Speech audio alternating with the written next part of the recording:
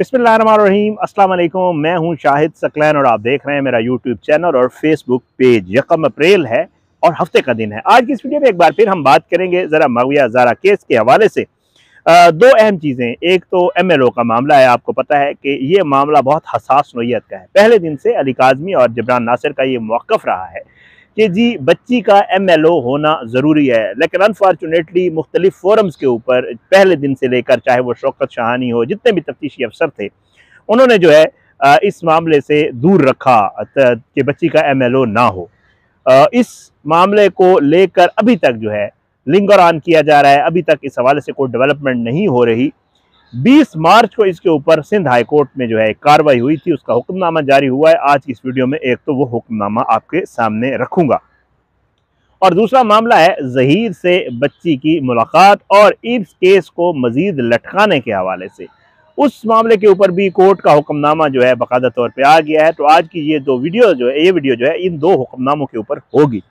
पहले तो ज़रा हम डिस्कस कर लेते हैं जी एमएलओ वाला मामला, कि एमएलओ वाले मामले के ऊपर क्या हुआ। आपकी याद होगा कि बच्ची जब आई तो उसके बाद फौरी तौर पे जो है, कहा यही जाता है, ज़ाहरी बात है कि इन केसेस में अमूमन यही होता है।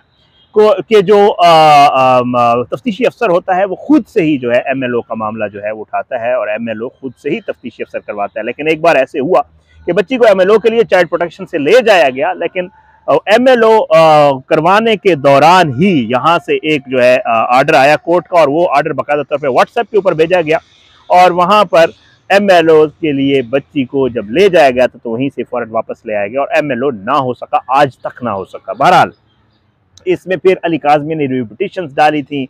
शौकत शाहानी के टाइम दूसरे जो तफ्तीश अफसर थे, उनके टाइम लेकिन किसी भी फोरम के ऊपर एमएलओ के हवाले से कोई डेवलपमेंट नहीं हुई थी। सिंध हाई कोर्ट में जस्टिस सलाउद्दीन पंवर साहब के पास जो है, एक इसमें नज़रसानी की दरख्वास्त डाली गई थी और उसमें कहा गया था कि जी जो है बच्ची का एमएलओ होना चाहिए, जो कि बड़ा ही ज़रूरी है। जबराना साहब ने यह मौक़ अपनाया था। ये मामला लटकता रहा और बिल आखिर 20 मार्च को जो है इसकी समाप्त हुई, जिसके ऊपर जो जस्टिस सलाउद्दीन पंवर साहब हैं, उन्होंने कहा कि जी, मैं पहले ही ये कह चुका हूँ कि जी इस, हम इस मामले को नहीं सुनेंगे और ये मामला जो है जुडिशल मामला है। ये कोई एडमिनिस्ट्रेटिव मामला नहीं है। तो इसलिए इस मामले को मैं नहीं सुन सकता। ये मामला जो है दोबारा chief justice Sindh high court को भेजा जाए और उसके बाद वो रोस्टर के मुताबिक किसी भी दूसरे जो है जज को ये मामला दे दें और जो है वो जज इस मामले को सुने। तो जो एमएलओ का मामला है 20 मार्च को, क्योंकि 20 मार्च वाले दिन ये समात हुई थी उस दिन मैं वीडियो नहीं कर सका था, एक दो दिन हम बिज़ी रहे, एक छोटा इशू हो गया था, वो आपको बता चुका हूँ बारह। तो बहरहाल, तब वीडियो नहीं की थी, फिर उसके बाद ये हुक्मनामा आया तो मैंने कहा आपको एम एल ओ के हवाले से आप अक्सर बेशतर पूछते रहते हैं तो मामला जूँ का तू है, वहीं का वहीं है।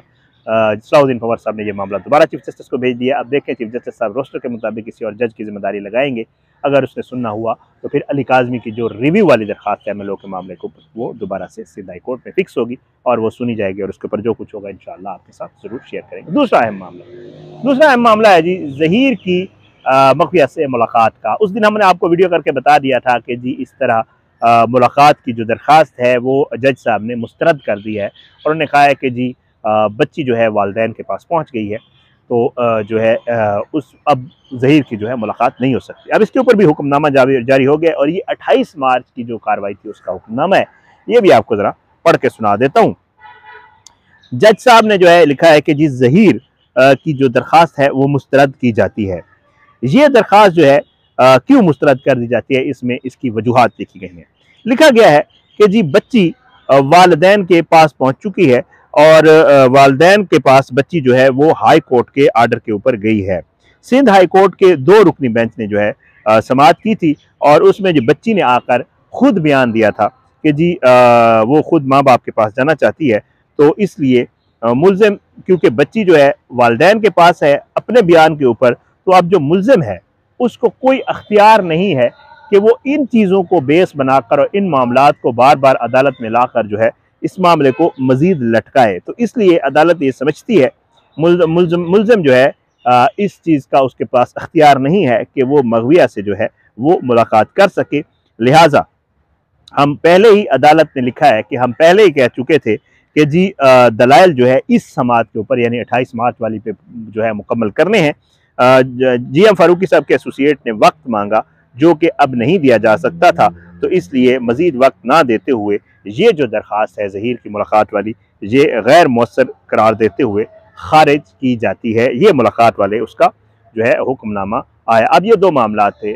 आपको थोड़ा सा दोबारा जो है वो बता दूँ कि इसमें जब समात होने लगी थी, जो इससे गुजशत समात थी, उसके ऊपर जो है जज साहब ने कहा था कि जी अगली समात लास्ट होगी, मैं इस मामले को मजीद नहीं लटका सकता। जी फारूकी साहब आए और वो आकर इस मामले के ऊपर दलाइल दें। लेकिन इस, जब समाज शुरू हुई तो एसोसिएट जो है, जहीर वो पेश हुए जी, एम फारूकी साहब के, और उन्होंने कहा कि जी, एम फारूकी साहब नहीं है, गाँव गए हुए हैं तो इसलिए अगली समाज का वक्त दिया जाए, जिसके ऊपर जज साहब ने कहा कि जी, मजीद वक्त नहीं दिया जा सकता, और उन्होंने जो है कहा कि जी, आज ही कोई अगर दलाइल मुकम्मल करना है तो कर ले, और उसके बाद उन्होंने गैर मसर अब इसमें जबरान नासर ने बड़ा किरदार, जहरी बात है, वो शुरू से करते आ रहे हैं, और इसमें भी उस दिन भी उन्होंने बाकायदा तौर पर जब उनकी बारी आई तो उन्होंने फिर जो दलाइल दिए, उन्होंने फिर कोर्ट को बताया कि जी क्या कुछ है, अदालतों में क्या चल रहा है, मुलाकात के हवाले से क्या है, हवालगी के हवाले से क्या चल रहा है फैमिली कोर्ट में, ट्रायल कोर्ट में जो मामला चल रहे हैं वो क्या कुछ है और सारी चीज़ें जो है उन्होंने बाकायदा तौर पर कोर्ट के सामने रखी और उन्हें बताया कि जी ये महज मामला को लटकाने का और जो फोकस है अदालत का ट्रायल के ऊपर उसको ख़राब करने के लिए मुलजमान जो है वो नई नई दरखास्तें ला रहे हैं और इन दरखास्तों का और कोई मकसद नहीं है, बेमकसद दरखास्तें हैं। महज वक्त का ज़िया है या केस को लटकाने की कोशिश है, ये जबराना साहब ने उस दिन अपने दलाइल में कहा था। तो जज साहब ने जो है वो जबरान नासिर साहब के दलाइल से इतफाक़ किया और जबराना साहब के दलाइल से इतफाक़ करते हुए जज साहब ने जो है वो इन लोगों की जो दरख्वास्त थी मुलाकात वाली वो, जो है वो गैर मौसर करार, वो करते हुए करार देते हुए जो है ये दरख्वास्त भी मुस्तरद कर दी। ये दो चीज़ें थी जो आज की इस वीडियो में आपके सामने रखनी थी। अब इन जो मामला है, वो जाएगा मेन ट्रायल की तरफ़ और ट्रायल होना है। सिंध हाई कोर्ट आर्डर दे चुका है। हम आपको बारह वीडियोज़ में बता चुके हैं कि सिंध हाई कोर्ट ने वाज आर्डर दिया है कि मामला मज़ीद अब आगे रोका नहीं जा सकता। ट्रायल कोर्ट जितनी भी साइड पे दरखास्तें चल रही हैं, चाहे वो फैमिली कोर्ट में चाहे वो किसी और कोर्ट में, हाई कोर्ट में लगी हुई हैं वो चलती रहेंगी, लेकिन जो ट्रायल है उसके ऊपर कोई स्टे नहीं है। इलियास मेमन साहब ट्रायल को चलाए और मुलजमान के ऊपर फर्द जुर्म आयद करें और आगे की जो कार्रवाई है उसको उसी तरह आगे बढ़ाएँ। तो अब इन जो है उम्मीद है कि आने वाले दिनों में जो है वो इसके ऊपर हमें मजीद डेवलपमेंट होती हुई नज़र आएँगी।